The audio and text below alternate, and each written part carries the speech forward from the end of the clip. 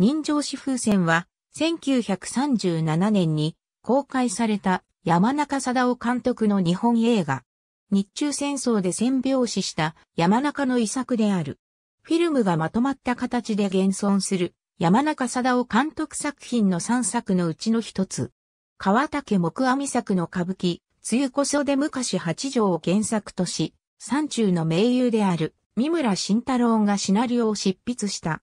町の入れ墨者、高知山宗春に次いで前身座と三度目のコンビを組み、一座の花形である河原崎長十郎と中村寛右衛門が主演し、他多くの座員が出演した。また、当時前身座に所属していた加藤大輔が市川むしろ司名義で、河野秋武が山崎進蔵名義で出演している。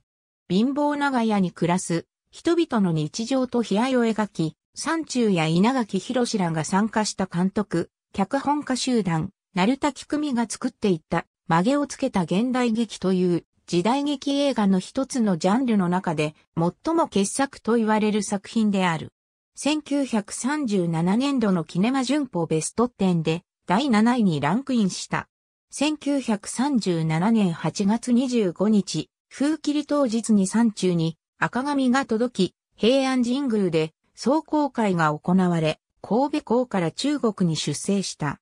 山中は、戦中、手記に、紙風船が遺作とは血と、寂しいと書き残している。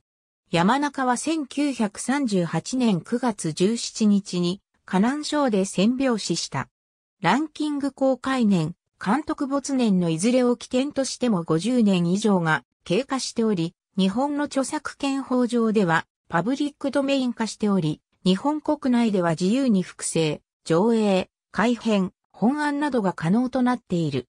キリリツ登ると中村寛右衛門江戸の貧乏長屋で浪人の首吊りが発生、役人が調べに来る。長屋の住人である上結の新さんは長屋の連中で浪人のためにお通夜をしてやろうと言い、大家を解き伏せて酒をせしめる。お通夜が行われるが、長屋の連中は酒がただで飲めると喜び陽気な馬鹿騒ぎを行う。同じ長屋にいる浪人の運の又十郎は、父の知人の毛利三左衛門に主官の口を頼みに行くが、邪剣に扱われ相手にしてもらえない。その毛利三左衛門は七夜である、白子屋の店主の愛娘、お駒を、猿高家の武士の嫁にしようと画策している。しかし、当のお駒は、番頭の中七とできている。新さんは、自分で賭場を開いていたが、ヤクザの大家分、八田五郎源七の怒りを買い散々な目にあってしまう。そのせいで金に困り、髪結の道具を白子屋に持ち込むが相手にしてもらえない。運の又十郎は、懲りずに何度も毛利三左衛門に会いに行くが、ある日土砂降りの雨の夜に、もう来るなと言われてしまう。同じ日の夜、中七が店へ傘を取りに戻っているのを待っている。お駒を見かけた新さんは、彼女を自分の長屋に連れて帰ってしまう。白子屋の用心棒をしている、八田五郎源七を困らせるためだ。